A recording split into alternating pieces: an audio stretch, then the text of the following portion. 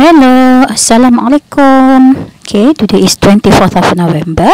We're going to look at uh, another exercise of pronouns.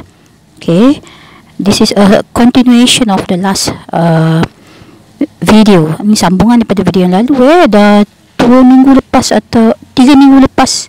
Kalau tak dua minggu lepas lah. Saya dah buat video yang pertama. Jadi awak dah buat latihan untuk pronouns. Okey, ada lagi bahagian kedua untuk video tersebut iaitu uh, untuk pronouns yang seterusnya iaitu object pronouns. Object pronouns ni sebenarnya digunakan di hujung ayat. Okey, kalau kita uh, di mula ayat kita boleh gunakan he, she, it, I, you, they, we. Tapi kalau di hujung ayat kita kena gunakan uh, object pronouns iaitu me, you, him, her, us, you untuk plural dan them. Okey, kalau awak ada masalah awak boleh rujuk kepada jadual ni lah yang purple dengan orange ni. Okey. Uh, object pronouns maksud dia di hadapan ayat. Uh, sorry, uh, subject pronouns di hadapan ayat yang warna purple. Uh, yang warna orange tu uh, object pronouns untuk digunakan di hujung ayat. Okey, kalau awak tengok soalan di sini ada 8 soalan. Soalan yang pertama, is a great song. I love. Jadi awak kena tengok apa yang siapa tentang siapa dia bercakap sekarang subjek dia ialah it. Okay, it. Jadi I love it. I love it. So it tak ada perubahan lah masih lagi guna it. Okay, number two. We can't speak Italian very well. Kami tak pandai cakap Itali dengan bagus. Can you help? So siapakah subjek dalam ayat ni? We. Jadi, tengok dalam jadual di bawah warna orange, apakah pasangan we? Ha, jawapan dia ialah S. The answer is S. Okay, number three. The phone's ringing. Telefon berbunyi. Can you answer? Jawab apa? Can you answer? Boleh tak awak jawab? Jawab apa? Ha, so, the phone. The phone sejenis benda. So, kita kena guna it juga. Okay. I often call Ellie. But she hardly ever call. Saya selalu call Ellie. Tapi Ellie jarang call saya. So which one is saya? So me lah.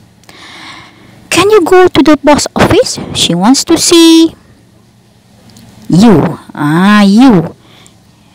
Boleh tak awak? So she wants to see you. Okay, number six. Where are my keys?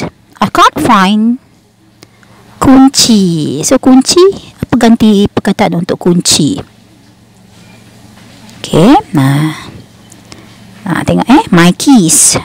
Awak perasan tak ada S. S means plural. So, kalau plural, tak boleh guna it. So, awak kena guna them. Kat sini ramai yang silap. Okay. Okay, hello again. Do you remember My name's Matt. Nama saya Matt. Awak ingat saya lagi tak? Ha, so saya. Which one?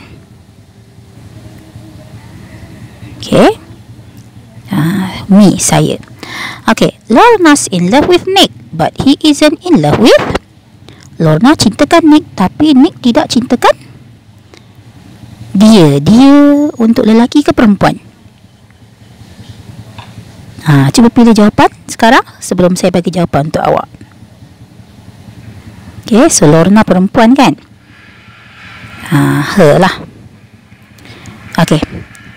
Kita teruskan dengan nombor 9, 10, 11, 12. Okey, kita tengok eh. Okey. Jadual yang sama.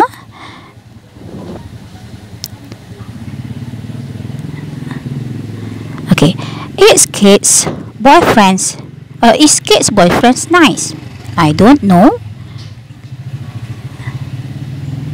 Ah, okay, ini saya tak letak jawapan.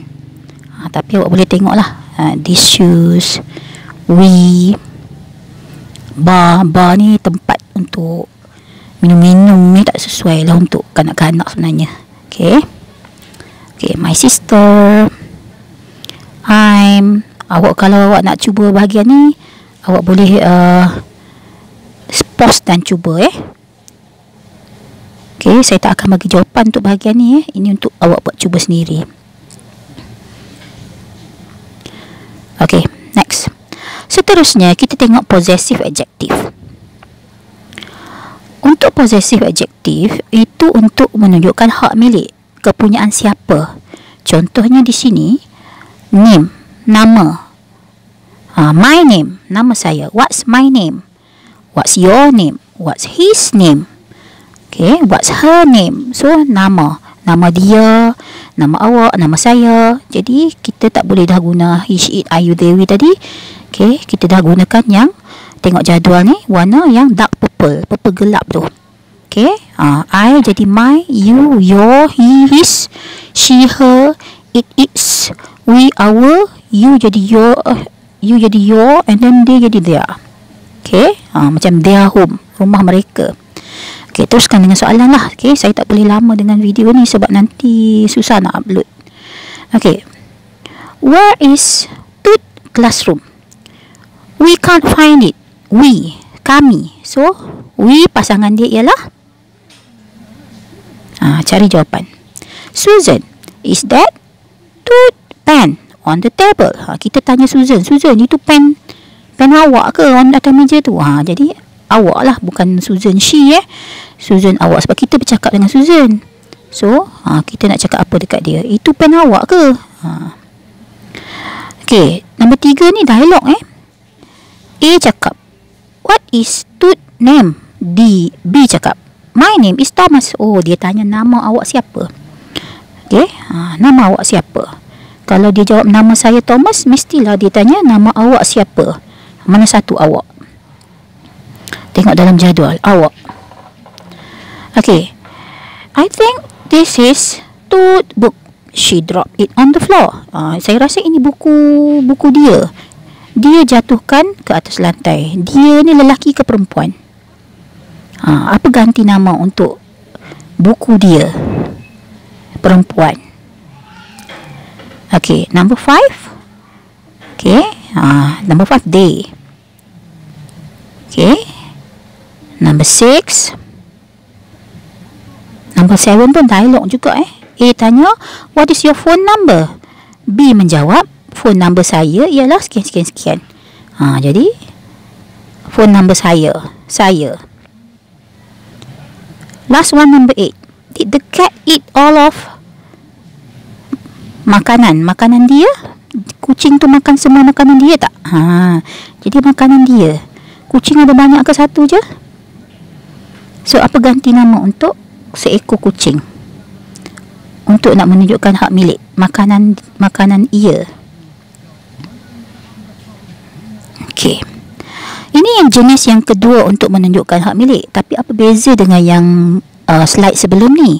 Yang tadi ada perkataan benda atau macam tadi house, my house, your house, okay? Ada ada perkataan benda uh, barang yang dimiliki itu di sebelah tempat kosong. Okay, tapi untuk yang possessive pronouns ni dia tak ada nama benda tu. Cuba awak tengok uh, di bawah uh, jadual tu. Okay, kotak yang pertama I have a bicycle. Kemudian kotak yang kedua the bicycle is mine. Uh, saya ada sebuah basikal. Basikal itu saya punya. Ha, nampak? Saya punya. Di sebelah perkataan mine tak ada perkataan basikal. Oleh kerana tak ada perkataan basikal di sebelah mine sebelah kanan dia tu jadi kita nak cakap saya punya kita tak boleh cakap mine dah. Kita kena guna mine saya punya. Kalau tadi saya punya basikal tapi sekarang saya punya sahaja. Okay, tengok yang kedua. You have a bicycle the bicycle is yours jadi dia dah tak guna dah yang tadi sekarang dia guna untuk yang uh, hak milik tapi tak ada nama barang di sebelah dia. Mine, yours, tengok jadual yang warna merah ke? Ha, merah. Okay. Mine, yours, his, hers. Ha, kemudian untuk it tak ada. Ours, yours dengan theirs. Teruskan dengan soalan ya. Okay, number one. We brought that house last year. Sorry, we bought that house last year. Kami beli rumah tu tahun lepas. It is kami punya. Kami punya. Yang mana kami punya? Okay, number two. The car belongs to Mr. and Mrs. Smith. Ada dua nama di situ, dua orang.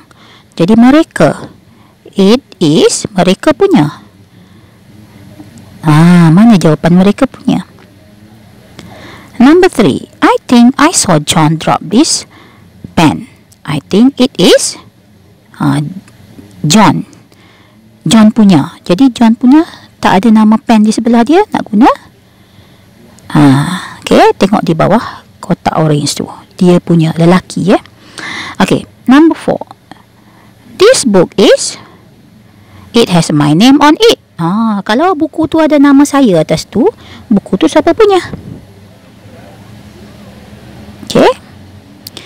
Okay, seterusnya number five. My brother and I. Kami lah. We, eh. Number six.